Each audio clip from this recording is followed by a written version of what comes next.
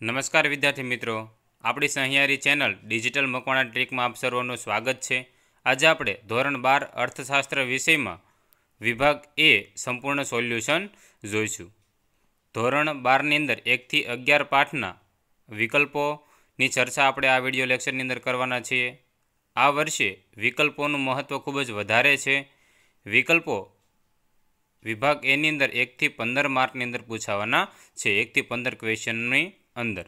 તો આપણે પ્રકરણ એકથી વિકલ્પોની શરૂઆત કરીએ કે નીચેના આપેલા વિકલ્પોમાંથી સાચો વિકલ્પ પસંદ કરીને લખો. પ્રકરણ નંબર એક. શરૂઆત કરીએ આપણે. વિકલ્પ અને એનો સાચો જવાબ. આકૃતિ કયા પ્રકારના વિતરણ માટે દોરવામાં આવે છે? તો આકૃતિ અસતત પ્રકારના વિતરણ માટે દોરવામાં આવે છે. ક્વેશ્ચન નંબર બે. આલેખ કયા પ્રકારના વિતરણ માટે દોરવામાં આવે છે. તો આલેખ સતત પ્રકારના વિતરણ માટે દોરવામાં આવે છે. ત્રીજો ક્વેશ્ચન નીચેનામાંથી કઈ આકૃતિઓ સમાન માહિતી માટે દોરવામાં આવે છે? તો સાદી સ્તંભ આકૃતિ અને પાંચ પાસેની સ્તંભ આકૃતિ સમાન આકૃતિ માટે દોરવામાં આવે છે. ચોથો પ્રશ્ન જોઈએ. આજના સમયમાં ઇન્ટરનેટ માટેનું કયું વિધાન સાચું છે? તો અભ્યાસ માટેનું એક સાધન છે. આ વિધાન સાચું છે. ઓપ્શન એ જવાબ આવશે. પાંચમો પ્રશ્ન. આર્થિક માહિતી અંગેના ડેટા સીડી તૈયાર કોણ કરે છે?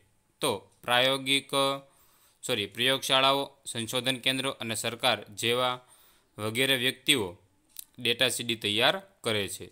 તો ઓપ્શન સી આપણો સાચો પડશે.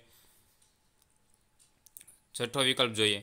રેખાકૃતિમાં એક્સ ધરી પર શું દર્શાવવામાં આવે છે? તો રેખાકૃતિમાં એક્સ ધરી પર સ્વતંત્ર ચળ દર્શાવવામાં આવે છે. અને વાયધરી પર પરતંત્ર ચળ દર્શાવવામાં આવે છે. સાતમો પ્રશ્ન જોઈએ.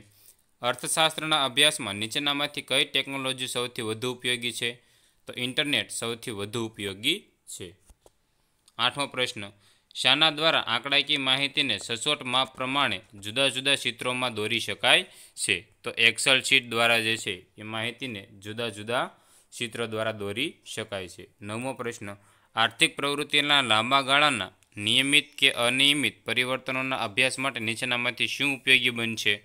તો સામયિક શ્રેણી આલેખ ઉપયોગી બનશે. વિદ્યાર્થી મિત્રો, તો હવે આપણે જોઈએ યુનિટ નંબર બે. અહીં ખાસ આઈએમપી એવા વિકલ્પોની ચર્ચા કરી છે મેં.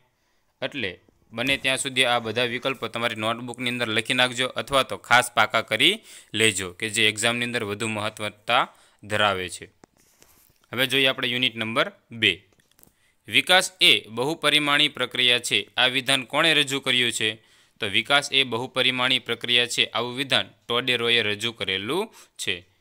બીજો પ્રશ્ન, કયો ખ્યાલ ગુણાત્મક છે? તો આર્થિક વિકાસનો ખ્યાલ ગુણાત્મક છે. કેવો ખ્યાલ છે? ગુણાત્મક ખ્યાલ છે. ત્રીજો પ્રશ્ન, બે હજાર ચૌદમાં વિશ્વના માનવ વિકાસ આંકની દ્રષ્ટિએ ભારતનો ક્રમ કેટલામો હતો? તો બે હજાર ચૌદમાં વિશ્વના કુલ એકસો ને અઠ્યાસી દેશોના માનવ વિકાસ આંક રજૂ થયા હતા. તેમાંથી ભારતનો ક્રમ એકસો ને ત્રીસમો હતો. પ્રથમ દેશ જે છે તે નોર્વેનો હતો અને અંતિમ ક્રમ નાઇજર દેશનો હતો. આવી વધારાની માહિતી પણ તમને વિકલ્પમાં તરીકે પૂછાઈ શકે છે. ચોથો પ્રશ્ન જોઈએ. બે હજાર ચૌદમાં માનવ વિકાસ અહેવાલ મુજબ ભારતની માથારી ઠાવક કેટલા ડોલરની હતી? તો ભારતની માથાદીઠ આવક પાંચ હજાર ચારસો સત્તાણું ડોલરની હતી. પાંચમો પ્રશ્ન, દેશના આર્થિક વિકાસમાં વધારો થવાથી ખાલી જગ્યા થાય છે, એટલે કે ખેતી ક્ષેત્રમાં ફાળો ઘટે છે. જેમ જેમ આર્થિક વિકાસ થાય છે, તેમ ખેતી ક્ષેત્રમાં લોકોનો ફાળો ઘટે છે અને ઉદ્યોગ અને સેવા ક્ષેત્રની અંદર ફાળો વધે છે.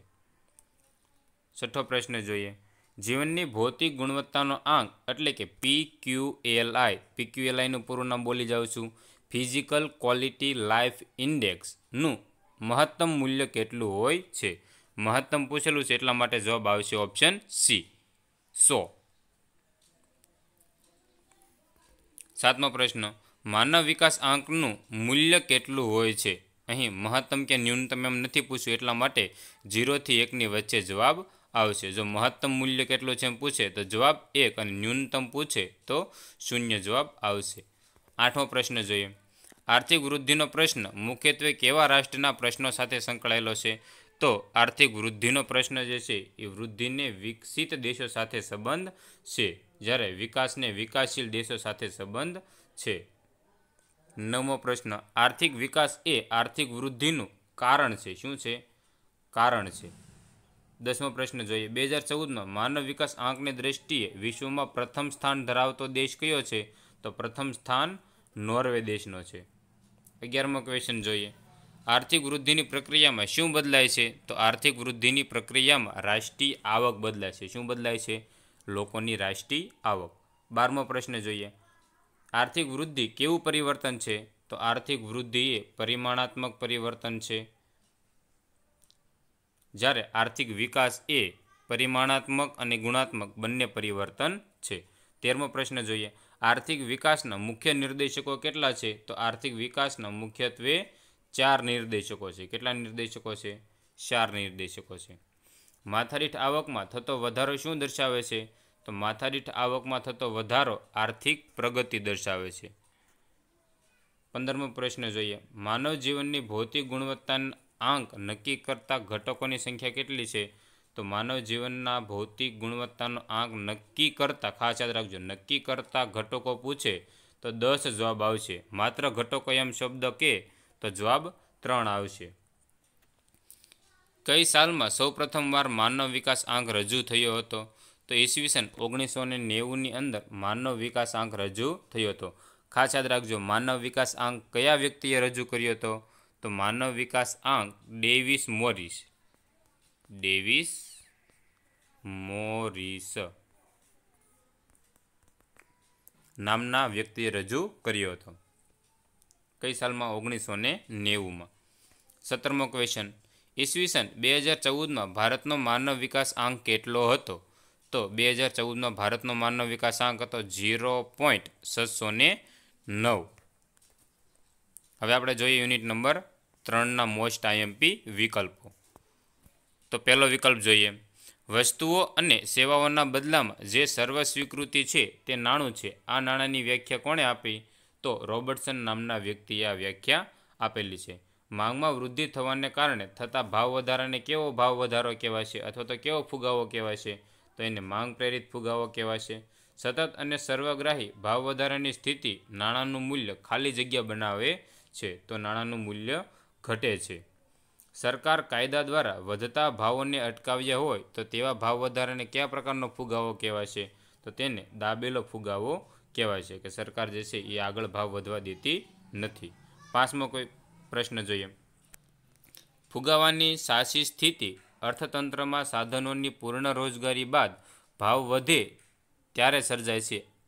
આ વિધાન કયા અર્થશાસ્ત્રનું છે? તો કેઇન્સ નામના અર્થશાસ્ત્રનું આ અર્થશાસ્ત્રીનું આ વિધાન છે.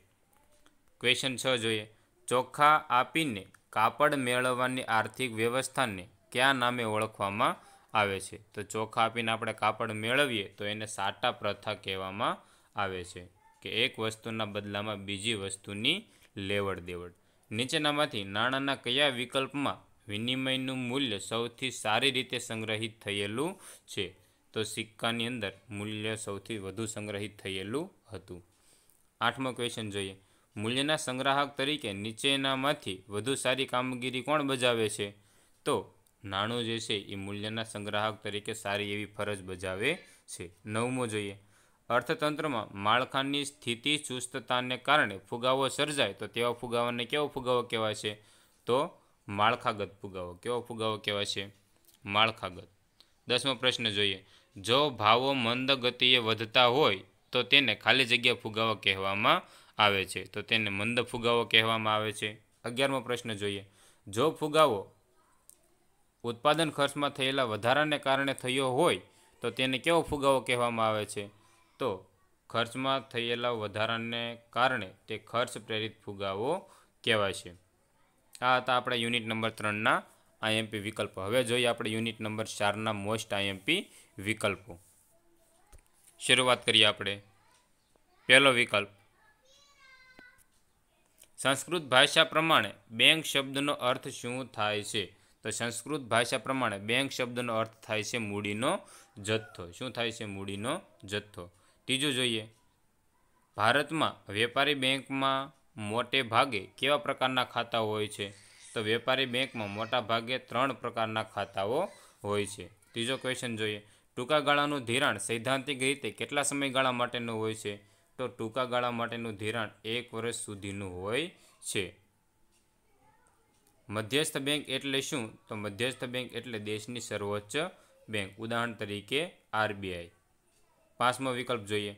આરબીઆઈ અન્ય બેંકો પાસેથી અત્યંત ટૂંકા સમયગાળા માટે ધિરાણ લે તો તેને રિવર્સ રેપો રેટ કહેવાય. શા માટે? કારણ કે આરબીઆઈ જે છે તે બીજી બેન્કો પાસેથી ધિરાણ લે છે એટલા માટે. આપતી નથી. જો આપે, તો એને રેપો રેટ કહેવાય. અને બીજી બેન્કો પાસેથી ધિરાણ લે, તો એને રિવર્સ રેપો રેટ કહેવાય. છઠ્ઠો ક્વેશ્ચન જોઈએ. નીચે, નીચેની પૈકી કયા પ્રકારની થાપણો પર વ્યાજ મળતું નથી? તો ચાલુ ખાતાની થાપણો પર ક્યારેય વ્યાજ મળતું નથી.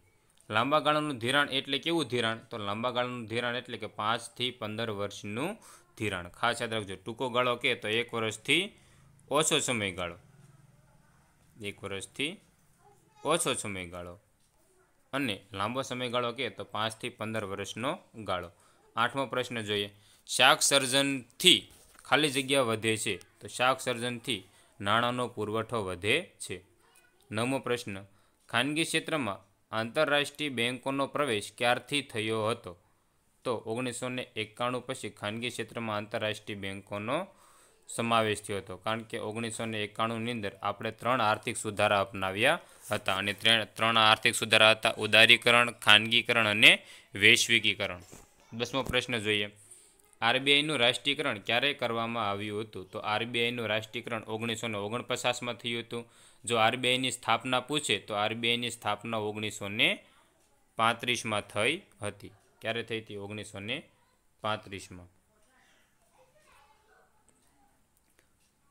અગિયારમો ક્વેશ્ચન જોઈએ. આરબીઆઈ નીચેના પૈકી કયું ચલણ બહાર પાડે છે? તો આરબીઆઈ બે રૂપિયાથી વધુ કિંમતી નોટો બહાર પાડે છે.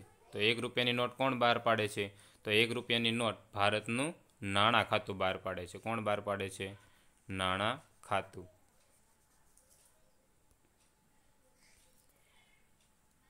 બારમો પ્રશ્ન જોઈએ. મંદીની પરિસ્થિતિમાં આરબીઆઈ બેંક રેટ ખાલી જગ્યા કરે છે તો મંદીના સમયની અંદર આરબીઆઈ બેંક રેટ ઘટાડે છે. ફુગાવાના સમયે આરબીઆઈ શું કરે છે તો રેપો રેટ વધારે છે. શું કરે છે? રેપો રેટ વધારે છે. ચૌદમો ક્વેશ્ચન જોઈએ. ઓગણીસો બાસઠ પછી કુલ થાપણોના કેટલા ટકા સીઆર આર એટલે કે કેશ રિઝર્વ રેશિયો રાખવાનું. આરબીઆઈ એટલે કે રિઝર્વ બેંક ઓફ ઇન્ડિયાએ નક્કી કર્યું હતું. તો ત્રણથી પંદર ટકા જેટલો જે છે એ કેશ રિઝર્વ રેશિયો રાખવાની ભલામણ આરબીઆઈએ કરી હતી. પંદરમો પ્રશ્ન જોઈએ. બેન્કિંગ રેગ્યુલેશન એક્ટ મુજબ કુલ થાપણોના કેટલા ટકા કાયદાકીય પ્રવાહિતાનું પ્રમાણ રાખવું જરૂરી છે? તો પચીસ ટકા જે છે એ એસએલઆર કાયદાકીય પ્રવાહિતાનું પ્રમાણ રાખવું જરૂરી હતું. હવે આપણે જોઈએ યુનિટ નંબર પાંચના મોસ્ટ આઈએમપી વિકલ્પો. Indian Council of Medical Research ગ્રામ્ય ક્ષેત્રે વ્યક્તિની ખોરાકમાં ન્યૂનતમ દૈનિક કેલરી કેટલી નક્કી કરવામાં આવી? તો ખાસ યાદ રાખજો, વ્યક્તિની અને ગ્રામ્ય ક્ષેત્ર કીધેલું છે. તો ગ્રામ્ય ક્ષેત્રની અંદર ચોવીસો કેલરી દૈનિક નક્કી કરવામાં આવી હતી. જો ગ્રામ્યની બદલે શહેરી પૂછે, તો એકવીસો કેલરી. જોઈએ વિકલ્પ નંબર બે. તેંડુલકર સમિતિની ભલામણો મુજબ વર્ષ બે હજાર અગિયાર બારમાં શહેરી ક્ષેત્રોની ગરીબી રેખા નક્કી કરવા માટે કેટલા રૂપિયા નક્કી થયા હતા? તો બે હજાર અગિયાર બારમાં શહેરની ગરીબી રેખા નક્કી કરવા માટે હજાર રૂપિયા નક્કી કરવામાં આવ્યા હતા. ત્રીજો ક્વેશ્ચન જોઈએ. વર્ષ બે હજાર તેરમાં ભારતમાં સૌથી વધુ સોરી સૌથી ઓછી ગરીબી કયા રાજ્યમાં જોવા મળી હતી? તો બે હજાર તેરમાં સૌથી ઓછી ગરીબી ગોવાની અંદર જોવા મળી હતી. સૌથી ઓછા ગરીબો ક્યાં હતા? ગોવા રાજ્યની અંદર. ચોથો ક્વેશ્ચન વર્ષ બે હજાર અગિયાર બારના અંદાજ મુજબ ત્રીસથી ચાલીસ ટકાની ગરીબીની શ્રેણીમાં નીચેનામાંથી કયા રાજ્યનો સમાવેશ થાય છે? તો ત્રીસથી ચાલીસ ટકાની શ્રેણીની અંદર ઓડિશા રાજ્યનો સમાવેશ થાય છે. પાંચમો ક્વેશ્ચન જોઈએ. ભારતમાં વર્ષ બે હજાર ચૌદથી સોળના સમયગાળામાં કુપોષિત વ્યક્તિઓનું પ્રમાણ કેટલું હતું? તો વર્ષ બે હજાર ચૌદ સોળના સમયગાળામાં કુપોષિત વ્યક્તિઓનું પ્રમાણ હતું પંદર પોઈન્ટ બે ટકાવારી જેટલું. ગરીબી એ કેવો ખ્યાલ છે? તો ગરીબી એ ગુણાત્મક ખ્યાલ છે. કેવો છે? ગુણાત્મક. સાતમો ક્વેશ્ચન જોઈએ. નિરપેક્ષ ગરીબી એટલે શું? તો કે સંપૂર્ણ ગરીબી. આ બીજું એનું નામ છે. નિરપેક્ષ ગરીબીને સંપૂર્ણ ગરીબી તરીકે પણ ઓળખવામાં આવે છે. ક્વેશ્ચન નંબર આઠ જોઈએ. Indian Council of Medical Research દ્વારા શહેરી વિસ્તારમાં ગરીબી રેખા માટે દૈનિક કેટલી કેલરી નક્કી કરવામાં આવી? તો આપણે પહેલાં જ વાત કરી ચૂક્યા છીએ કે એકવીસો કેલરીની વાત કરવામાં આવેલી છે અને ગ્રામ્ય વિસ્તાર પૂછે તો સોવીસો કેલરી. નવમો ક્વેશ્ચન જોઈએ. પ્રોફેસર સુરેશ તેંડુલકર સમિતિ દ્વારા વર્ષ બે હજાર અગિયાર બાર માટે ગ્રામીણ ક્ષેત્રોમાં ગરીબી રેખા નક્કી કરેલ માસિક માથાદીઠ વપરાશી ખર્ચની રકમ કેટલી હતી? તો રકમ હતી રૂપિયા આઠસો સોળ. ખાસ યાદ રાખજો, ગ્રામીણ ક્ષેત્ર માટે પૂછેલું છે એટલા માટે આઠસો ને સોળ. જો શહેરી પૂછે તો હજાર રૂપિયા આવશે. દસમો પ્રશ્ન, તેંડુલકર સમિતિના અંદાજ મુજબ ભારતના વર્ષ બે હજાર અગિયાર બારમાં નિરપેક્ષ ગરીબીનું પ્રમાણ કેટલું હતું? તો એકવીસ પોઈન્ટ નવ ટકા જેટલું નિરપેક્ષ ગરીબીનું પ્રમાણ હતું. અગિયારમો ક્વેશ્ચન જોઈએ. વર્ષ બે હજાર તેરમાં વાર્ષિક અહેવાલ મુજબ ભારતમાં સૌથી વધુ ગરીબીનું પ્રમાણ કયા રાજ્યમાં હતું? તો છત્તીસગઢમાં. કયા રાજ્યમાં? છત્તીસગઢમાં. સાપેક્ષ ગરીબીનું શું દર્શાવે છે? તો સાપેક્ષ ગરીબી આવકની અસમાનતા દર્શાવે છે. શું દર્શાવે છે? આવકની અસમાનતા. નીચેના પૈકી કયો નિર્દેશક ગરીબીનો નિર્દેશક નથી?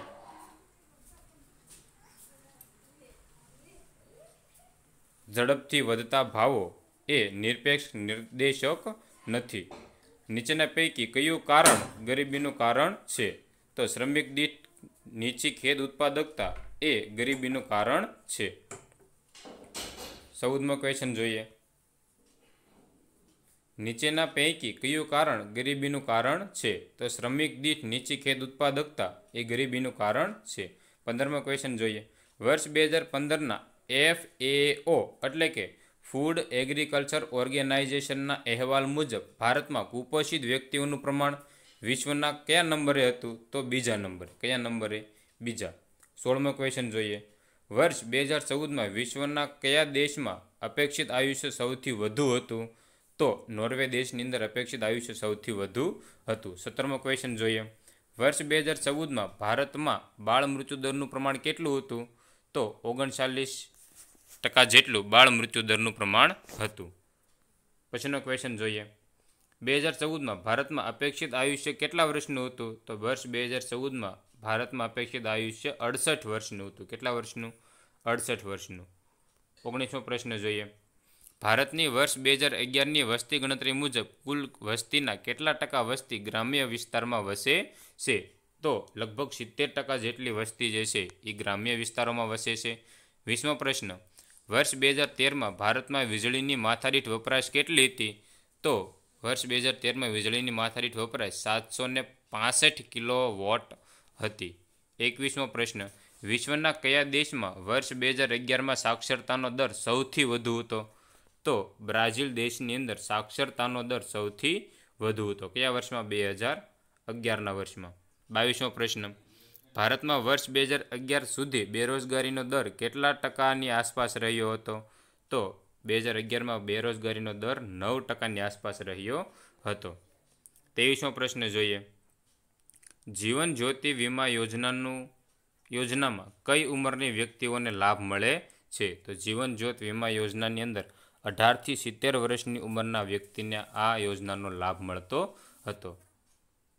હવે આપણે આગળ વધીએ વિદ્યાર્થી મિત્રો. તો પ્રકરણ નંબર છ.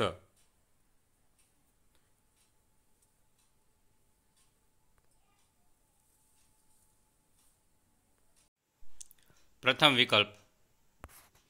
પ્રવર્તમાન વેતન દરે કામ કરવાની ઈચ્છા, શક્તિ અને તૈયારી હોવા છતાં કામ ન મળે તો તેવી વ્યક્તિને ખાલી જગ્યા કહેવામાં આવે છે.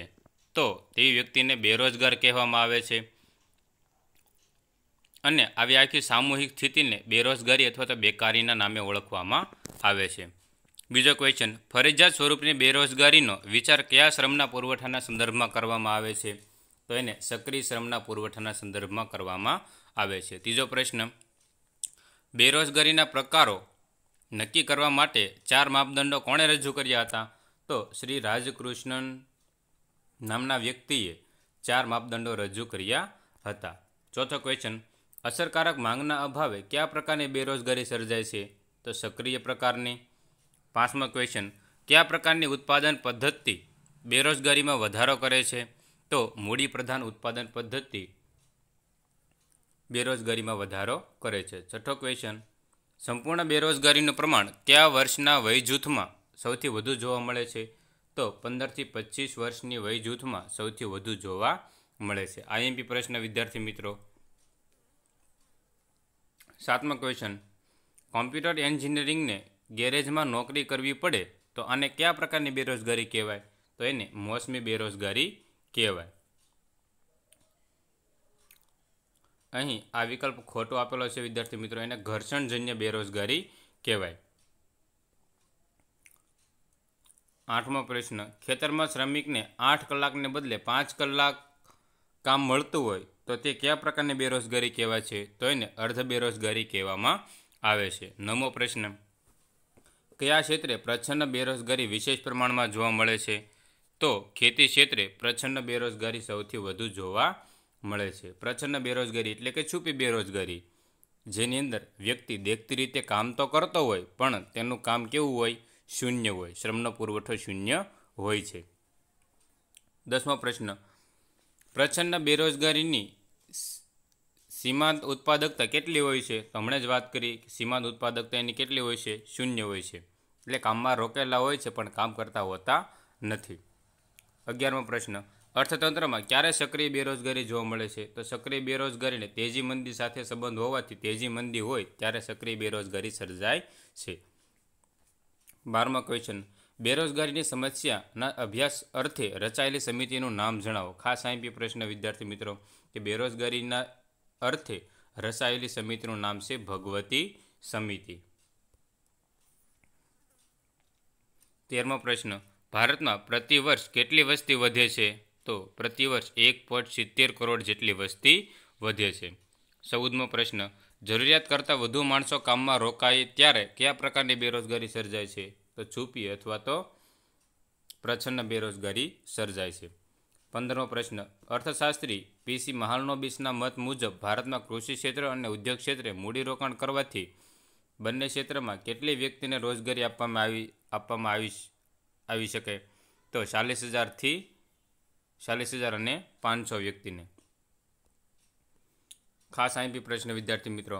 મનરેગા કાર્યક્રમને સફળ બનાવવા સરકારે કયા દિવસને રોજગાર દિવસ તરીકે ઉજવવાની જાહેરાત કરી? તો બે ફેબ્રુઆરીને રોજગાર દિવસ તરીકે ઉજવવાનું નક્કી કર્યું. હવે આપણે જોઈએ યુનિટ નંબર સાત, એટલે કે પ્રકરણ નંબર સાતના મોસ્ટ આઈએમપી વિકલ્પો. શરૂઆત કરીએ આપણે.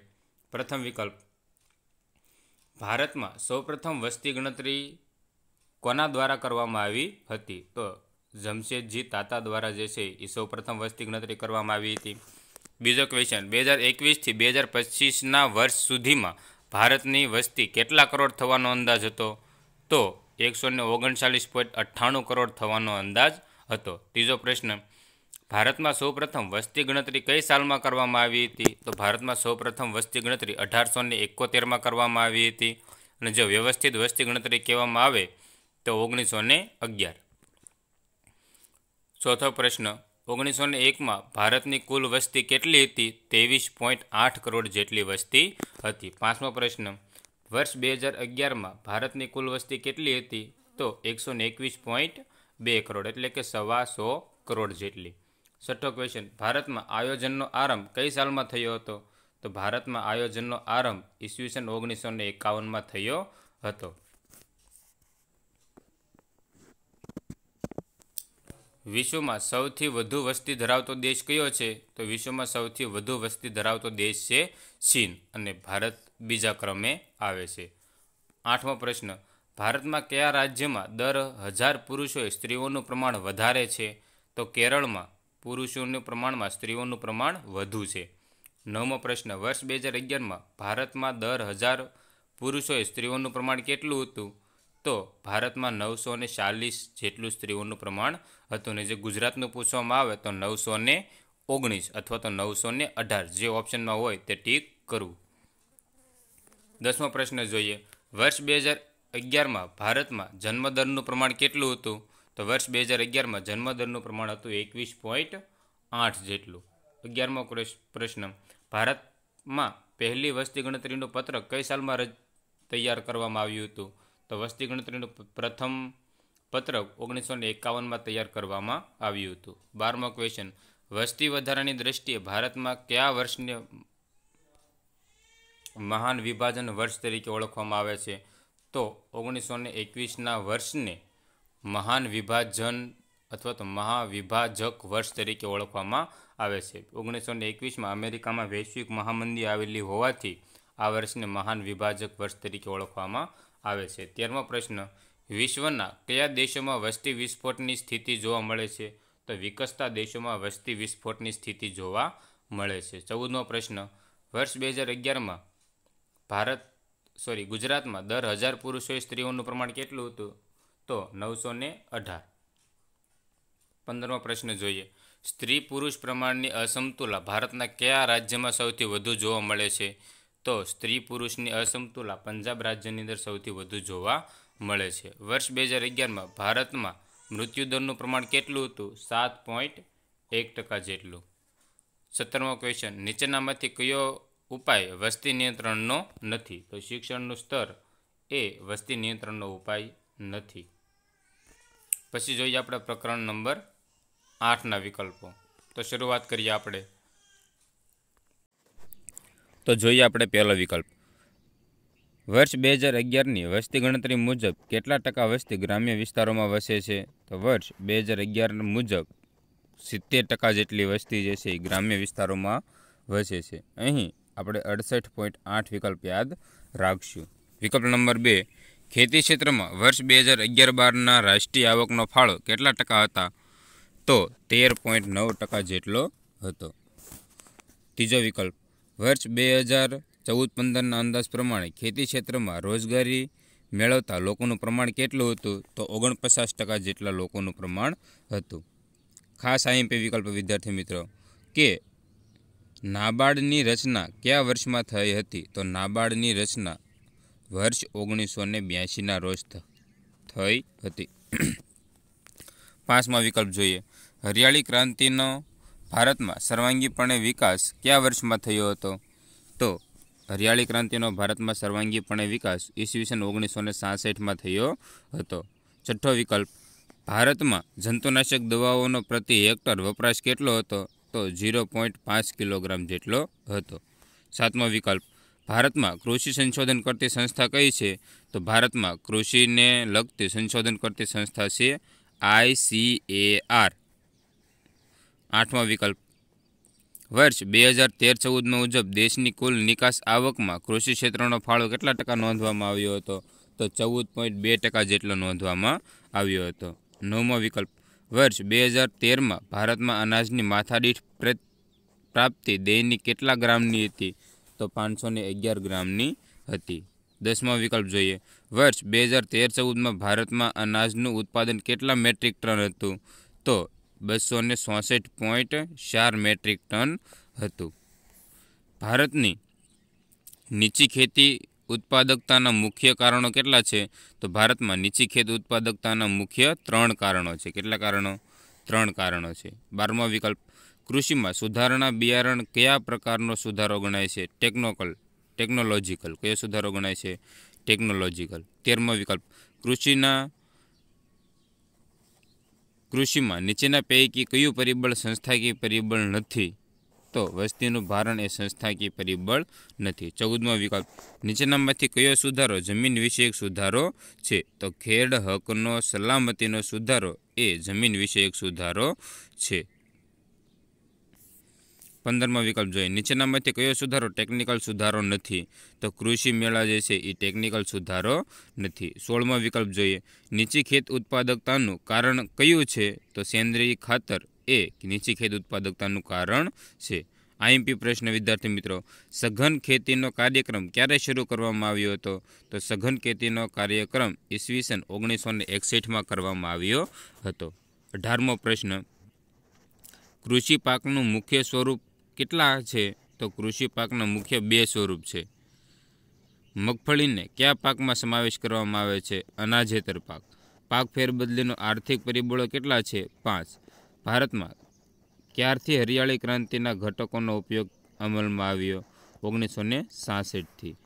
અનાજમાં, પાકમાં નીચેનામાંથી શાનો સમાવેશ થાય છે? તો બરછટ અનાજનો સમાવેશ થાય છે. ખાસ આઈએમપી પ્રશ્ન, વિદ્યાર્થી મિત્રો, હરિયાળી ક્રાંતિના વિસ્તાર માટે કઈ સંસ્થાએ પાયાનું કાર્ય કર્યું? તો આઈસીએઆર નામની કંપનીએ ખૂબ જ વધારે પડતું કામ કર્યું. હવે આપણે જોઈએ યુનિટ નંબર નવના વિકલ્પો. કે વેપાર દ્વારા શું થાય છે? તો વેપાર દ્વારા ઉત્પાદનમાં વિવિધતા આવે છે. શું આવે છે? ઉત્પાદનમાં વિવિધતા આવે છે. બીજો વિકલ્પ જોઈએ. વિદેશ વેપારમાં કયું સાધન સૌથી વધુ ગતિશીલ છે? તો સૌથી ઓછું ગતિશીલ છે તેવું શ્રમ. કયું? શ્રમ. અને સૌથી વધુ ગતિશીલ પૂછે તો આવશે નિયોજક. એ જે છે, એ સૌથી વધુ ગતિશીલ છે. કેવું? વધુ ગતિશીલ છે. એટલે બે વિકલ્પો યાદ રાખશું આપણે. ત્રીજો પ્રશ્ન જોઈએ. વર્ષ બે હજાર પાંચ પછી ભારતમાં વિદેશ વેપારનું, વિદેશ વેપારમાં શું નોંધપાત્ર ફેરફાર થયો હતો? તો એ, વેપારનું કદ વધ્યું અને ભારતનો વેપારમાં ક્રમ આગળ આવ્યો. ચોથો વિકલ્પ, ભારતના વિદેશ વેપારમાં પરંપરાગત ભાગીદાર દેશોમાં કયા દેશોનો સમાવેશ કરી શકાય? તો ઇંગ્લેન્ડ અને રશિયાનો સમાવેશ કરી શકાય. હવે આપણે જોઈએ વિકલ્પ નંબર પાંચ. વેપાર તુલા એટલે શું? તો વેપાર તુલા એટલે કે વસ્તુ, વેપાર, દ્રશ્ય, વેપારની તુલા. લેણદેણની તુલાના કેટલા ખાતા હોય છે? તો લેણદેણની તુલાના મુખ્ય બે ખાતાઓ હોય છે. આવક બાજુના અને જાવક બાજુના. સાતમો વિકલ્પ. વિદેશ વેપારમાં કયા સાધનોની ભૌગોલિક ગતિશીલતા શૂન્ય હોય છે? તો જમીનની ગતિશીલતા કેવી હોય છે? શૂન્ય હોય છે. વર્ષ બે હજાર ચૌદમાં વસ્તીની કુલ નિકાસોમાં ભારતની નિકાસોની ટકાવારીનો હિસ્સો કેટલો હતો?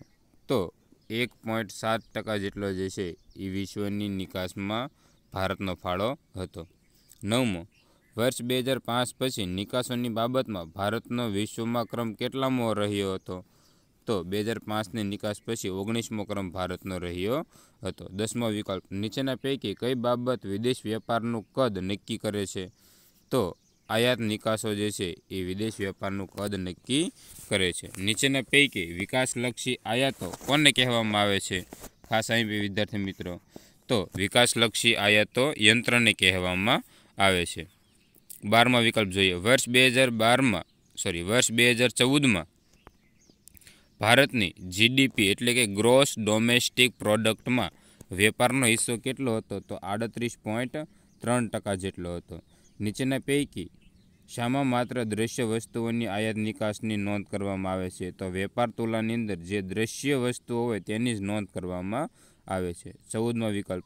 જો દેશની ભૌગોલિક, અથવા તો ભૌતિક વસ્તુઓની નિકાસનું મૂલ્ય તેના આયાત મૂલ્ય કરતાં ઓછું હોય, તો તે વેપાર તુલાને ખાધવાળી વેપાર તુલા કહેવામાં આવે છે. પંદરમો વિકલ્પ જોઈએ. લેણદેણની તુલનામાં જ્યારે જમા બાજુના સરવાળા કરતાં ઉધાર બાજુનો સરવાળો વધુ હોય તો એને પુરાંત કહેવામાં આવે છે અને પુરાંતને આપણે કહીશું નફો. કેમ કે જમા બાજુ જે છે એ આવકો દર્શાવવામાં આવે છે અને ઉધાર બાજુ જે છે એ જાવકો દર્શાવવામાં આવે છે.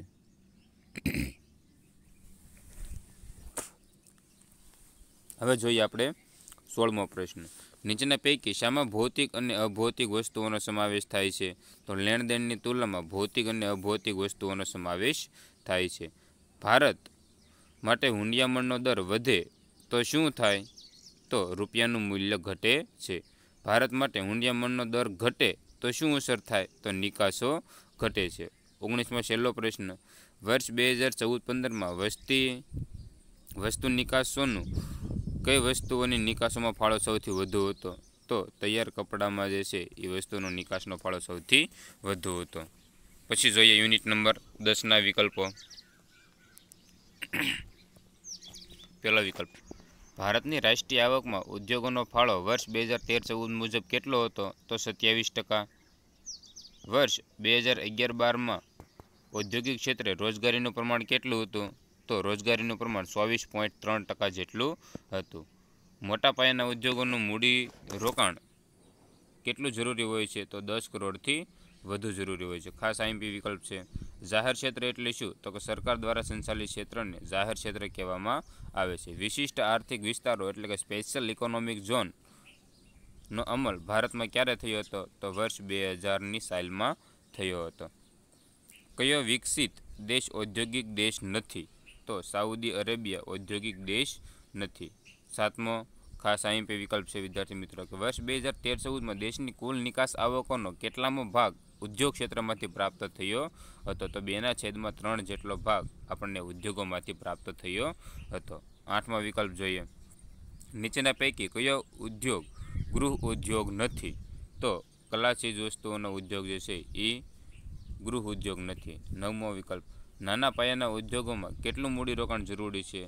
તો નાના પાયાના ઉદ્યોગોમાં પાંચ કરોડથી ઓછું મૂડીરોકાણ જરૂરી છે. દસમો વિકલ્પ. નીચેનામાંથી કયો ઉદ્યોગ મોટા પાયાના ઉદ્યોગોનો ગણાય છે? તો લોખંડ, પોલાદ, સ્ટીલના ઉદ્યોગો જે છે, એ મોટા પાયાના ઉદ્યોગો ગણાય છે. અગિયારમો વિકલ્પ. સંયુક્ત ક્ષેત્ર એટલે શું? તો જાહેર ક્ષેત્રના એકાવન ટકા કે તેથી વધુ શેર ધરાવતા લોકો દ્વારા સંચાલિત ક્ષેત્રને સંયુક્ત ક્ષેત્ર કહેવામાં આવે છે. બારમો વિકલ્પ. નીચેનામાંથી કયો ઉદ્યોગ વપરાશી વસ્તુઓનો ઉદ્યોગ છે? તો સાબુનો ઉદ્યોગ જે છે એ વપરાશી વસ્તુઓનો ઉદ્યોગ કહેવામાં આવે છે. નીચેનામાંથી કયો ઉદ્યોગ સહકારી ક્ષેત્રનો ઉદ્યોગ છે? તો દૂધની ડેરીનો ઉદ્યોગ જે છે એ સહકારી ક્ષેત્રનો ઉદ્યોગ કહેવામાં આવે છે. ચૌદમો, ભારતમાં કેટલા વિશિષ્ટ આર્થિક વિસ્તારો એટલે કે સ્પેશિયલ ઇકોનોમિક ઝોન સેઝની સ્થાપના કરવામાં આવેલી છે? તો ભારતમાં કુલ આઠ જે છે સ્પેશિયલ ઇકોનોમિક ઝોન વિશિષ્ટ આર્થિક વિસ્તારોની સ્થાપના કરેલી છે. પંદરમો વિકલ્પ. નાના પાયાના ઉદ્યોગોમાં કયા પ્રકારની ઉત્પાદન પદ્ધતિનો ઉપયોગ કરવામાં આવે છે? તો નાના પાયામાં શ્રમ પ્રધાન ઉત્પાદન પદ્ધતિનો ઉપયોગ કરવામાં આવે છે. હવે આપણે જોઈએ યુનિટ નંબર અગિયાર. પ્રકરણ અગિયારના આઈએમપી વિકલ્પો. આર્થિક સુધારા કયા વર્ષમાં અમલી આવ્યા? તો આર્થિક સુધારા વર્ષ ઓગણીસો ને અગિયારમાં અમલી આવ્યા. આકર્ષણ સ્થળાંતરની અસરો કયા પ્રકારની અસરો કહેવામાં આવે છે? તો એ હકારાત્મક અસરો કહેવામાં આવે છે. વર્ષ બે હજાર પચાસ સુધીમાં વિશ્વની કેટલી વસ્તી શહેરોમાં વસતી છે ખાસ આઈએમપી બેના છેદમાં ત્રણ જેટલી વસ્તી જે છે એ શહેરોમાં વસતી હશે. ચોથો વિકલ્પ, કયા વર્ષમાં આવન, કયા વર્ષમાં આપવામાં આવેલી નગરની વ્યાખ્યા ઉદાર હતી? ઓગણીસો ને એકાવનમાં આપવામાં આવેલી નગરની વ્યાખ્યા ખૂબ જ ઉદાર હતી. આ પણ આઈએમપી વિકલ્પ છે. પાંચમો પ્રશ્ન જોઈએ. વર્ષ બે હજાર અગિયારમાં આશરે કેટલા ટકા વસ્તી શહેરોમાં વસતી હતી? તો બત્રીસ ટકા વસ્તી જે છે એ શહેરોમાં વસતી હતી. છઠ્ઠો વિકલ્પ. ભારતીય બંધારણે કઈ વય સુધીના બાળકોને પ્રાથમિક શિક્ષણ, મફત અને ફરજિયાત ધોરણે પ્રાપ્ત થાય તેવું કહ્યું છે? તો છથી ચૌદ વર્ષના બાળકને જે છે એ પ્રાથમિક ધોરણ મફત આપવાનું અને ફરજિયાત આપવાનું નક્કી કરેલું છે. સાતમું. વર્ષ બે હજાર અગિયારમાં ભારતમાં સાક્ષરતાનું પ્રમાણ કેટલું હતું? તો સેવન્ટી ફોર પર્સન્ટેજ ભારતમાં રેલવેની શરૂઆત ક્યારે થઈ હતી? તો રેલવેની શરૂઆત અઢારસો ને ત્રેપનમાં થઈ હતી, મુંબઈ અને થાણાની વચ્ચે. ખાસ આઈમ્પી વિકલ્પ. નવમો વિકલ્પ. ONGC, oil and natural gas કોર્પોરેશનની સ્થાપના કયા વર્ષમાં કરવામાં આવી હતી? તો ઓગણીસો ને ઓગણસાઠના વર્ષની અંદર ઓએનજીસીની સ્થાપના કરવામાં આવેલી હતી. દસમો વિકલ્પ. નર્મદા નદી પર બંધ બાંધવાથી વસ્તીનું સ્થળાંતર કેવું ગણાય છે? વિકાસલક્ષી. અગિયારમાં. પંચમહાલના આદિવાસીઓનું સ્થળાંતર માટે કયું પરિબળ જવાબદાર છે? તો અપાકર્ષણ. બારમો વિકલ્પ. શહેરીકરણની શૈલીથી આકર્ષાઈને સ્વેચ્છાએ સ્થળાંતર થાય તો એને આકર્ષક સ્થળાંતર કહેવામાં આવે છે અથવા તો આકર્ષણ કહેવામાં આવે છે. યુએઈમાં થતા સ્થળાંતર કયા કારણનું સ્થળાંતર કહેવાય? આર્થિક. ચૌદમો, ઝૂંપડપટ્ટીનો વિસ્તાર સ્થળાંતરની કઈ અસર કરે છે? એ નકારાત્મક અસર કરે છે. કેમ કે ઝૂંપડપટ્ટી ગંદા વિસ્તારો જે છે, એ સારી વાત કહેવાય નહીં દેશ માટે, એટલા માટે. પંદરમો જોઈએ. વર્ષ બે હજાર અગિયારની વસ્તી ગણતરી મુજબ શહેર કે નગરમાં વસ્તીનું પ્રમાણ કેટલું હોવું જોઈએ? તો પાંચ હજારથી વધુ. સોળમો વિકલ્પ. સામાન્ય રીતે શહેરીકરણ કેટલી રીતે થાય છે? તો સામાન્ય રીતે શહેરીકરણ ત્રણ રીતે થાય છે. શહેરીકરણની નકારાત્મક અસર છે ખાલી જગ્યા. તો વસવાટોની તંગી એ શહેરીકરણની એક નકારાત્મક અસર છે. વસવાટોની તંગીને કારણે લોકોને જે છે એ ઝૂંપડપટ્ટીમાં અને ગંદા વસવાટોમાં રહેવું પડે છે. અઢારમાં જોઈએ. બે હજાર અગિયારમાં ગુજરાતમાં સાક્ષરતાનું પ્રમાણ કેટલું હતું? તો ઓગણએંસી પોઈન્ટ એકત્રીસ ટકા. વર્ષ બે હજાર અગિયારમાં ભારતના લોકોનું સરેરાશ આયુષ્ય કેટલું હતું? તો અગિયારમાં ત્રેસઠ પોઈન્ટ પાંચ વર્ષનું સરેરાશ આયુષ્ય ભારતના લોકોનું હતું. વીસમા વિકલ્પ. વિશ્વમાં વીજળીના ઉત્પાદન કરનાર દેશોમાં ભારતનો ક્રમ કેટલામો છે? તો વીજળીના ઉત્પાદન કરવામાં ભારતનો ક્રમ સાતમો છે. ભારતમાં વીજળીનો કેટલી રીતે મેળવી શકાય છે? ચાર રીતે વીજળી મેળવી શકાય છે. કયો સ્ત્રોત વીજળી ઉત્પન્ન કરવામાં કોઈ પ્રકારનું પ્રદૂષણ થતું નથી? તો પવનચક્કીમાં કોઈ પણ પ્રકારનું પ્રદૂષણ થતું નથી. ત્રેવીસમું ભારતીય રેલવે એશિયા ખંડમાં પહેલા નંબરનું સ્થાન ધરાવે છે. છેલ્લો વિકલ્પ. વિશ્વ રેલવે નેટવર્કમાં ભારતીય રેલવે કેટલામું સ્થાન ધરાવે છે? તો વિશ્વની અંદર ભારતનું રેલવે ચતુર્થ એટલે ચોથા નંબરનું સ્થાન ધરાવે છે. તો વિદ્યાર્થી મિત્રો, આ હતા આપણા ધોરણ બારની અર્થશાસ્ત્ર વિષયના કુલ એકથી અગિયાર યુનિટના મોસ્ટ આઈએમપી વિકલ્પો, જે ધોરણ બારના વિદ્યાર્થીઓ માટે ખૂબ જ મહત્ત્વના નીવડશે આપણે વિભાગ એ પંદર માર્કનો પૂછાય છે તો પંદરમાંથી પંદર લાવવાની કોશિશ કરીશું. ખાસ આ વીડિયો બધાય તમારા મિત્રો સાથે ફોરવર્ડ કરજો. એમને લાઇક શેર અને કમેન્ટ કરવાનું કહેજો. જો આ વીડિયો પસંદ આવ્યો હોય તો ચેનલને સબસ્ક્રાઈબ કરવાનું ભૂલતા નહીં. Thank you for watching this video